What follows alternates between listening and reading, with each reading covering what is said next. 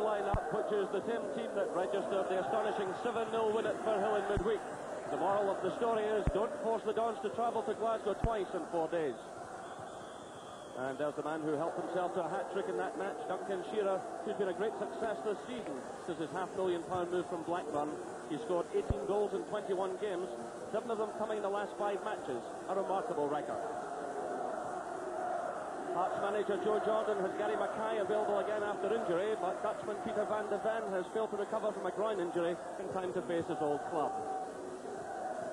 Once again, the Tynecastle side will be looking to the scoring talents of Ian Baird, who's been in splendid form recently, scoring the equaliser against Rangers last week, plus the winners against Hibs and Dundee United to gain five points out of the last six for his club. The referee is Jim McCluskey from Stewarton.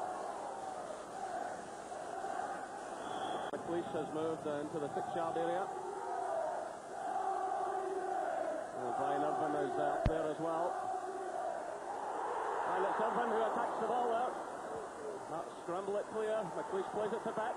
Another awkward one. And the goal by Irvine. Brian Irvine scores for Aberdeen.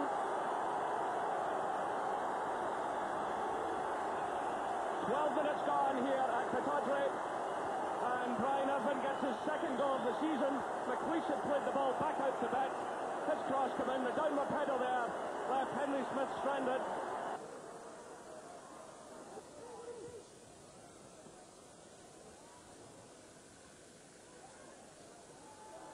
This is Ian Jess now for Aberdeen, holding off the challenges, doing well.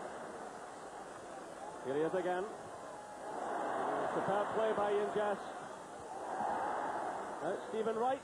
That's a fine cross. The chance on here. And Henry Smith got off an excellent save there from Paul Mason.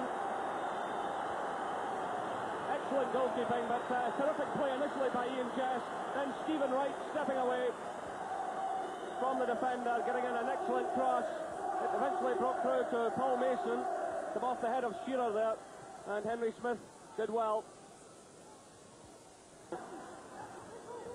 So there will be a little injury time. Brian Irvine did require some treatment. Still Hearts pushing forward, but uh, picked up now by Jim Betts. Played out in the direction of Mason. It's Mason against Levein. Aberdeen are pouring players forward here. Still Mason, he stabs it through now to Jess.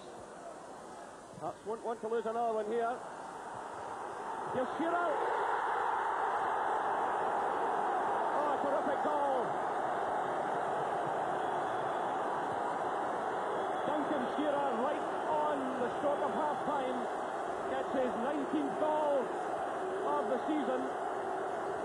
Well, it was superb play by Aberdeen. Jess got the ball right across the face of goal.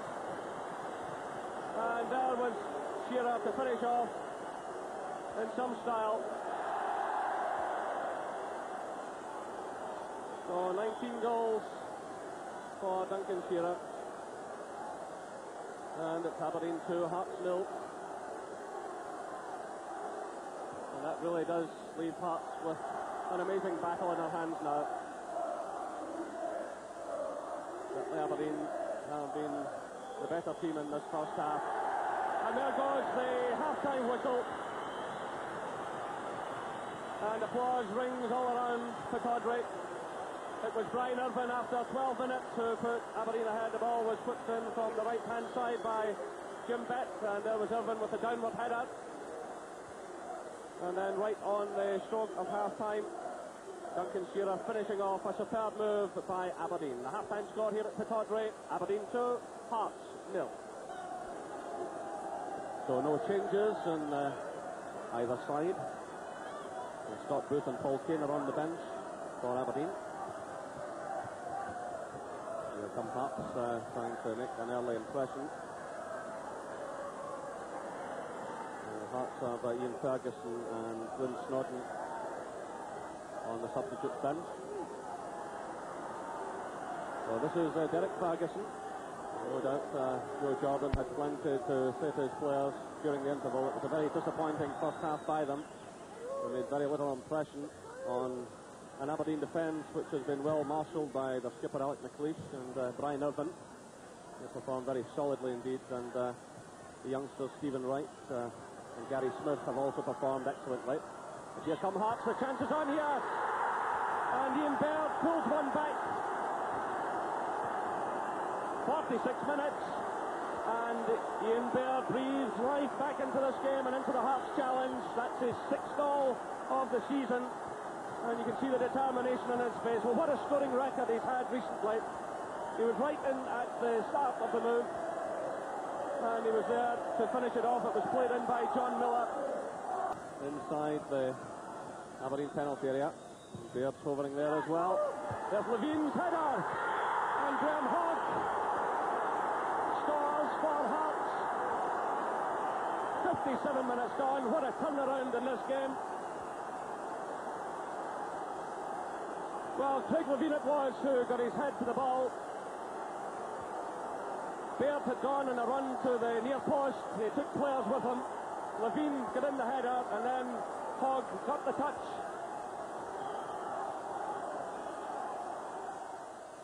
This is Scott Booth. And again, Aberdeen get the throw.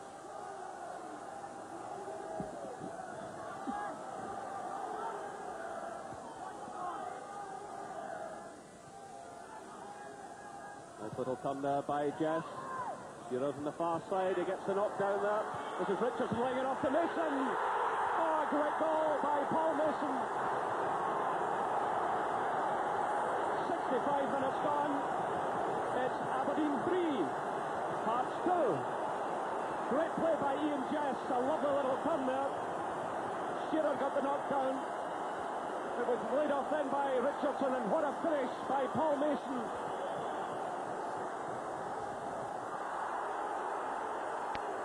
On, says the referee.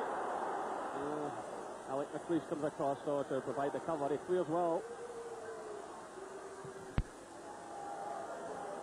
This is Levein for Hearts. Cut out by Richardson, who's having a splendid game. That's an excellent ball through to Mason. Aberdeen pouring players forward. He's just running into the near post. And there's Shearer. 71 minutes, another classic goal from Aberdeen. Shearer gets his second goal of the game. His 20th of the season. It was a great ball from Richardson to Mason. Again, Aberdeen with plenty of running off the ball. Ian Jess tearing in towards the near post. He took defenders with him, and there was Shearer to finish it off. Aberdeen 4, Hearts 2.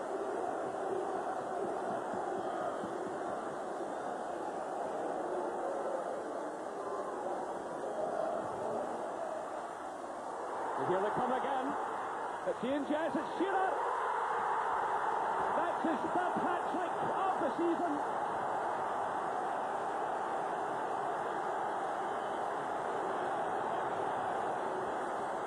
Duncan Shearer completes his hat trick.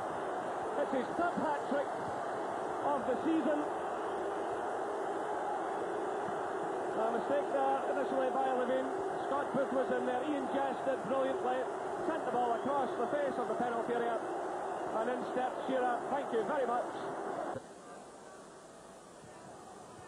Gary Mackay sends it clear. It's done by Brian Grant. That's excellent play. Oh, magnificent goal!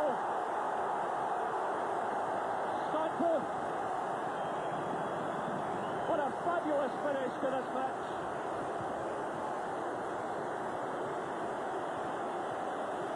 Really was terrific play again. The Houses finish off the underside of the bar. Aberdeen 6, half 2. This is Booth. Surely it can't be another one.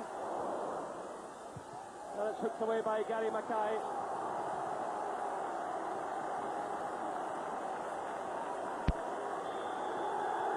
There goes the final whistle on what's been a quite remarkable afternoon here in the Granite City. There's the hat-trick man himself, Duncan Shearer. He scored in the first half and then delivered two more in the second half. The Aberdeen fans absolutely delighted.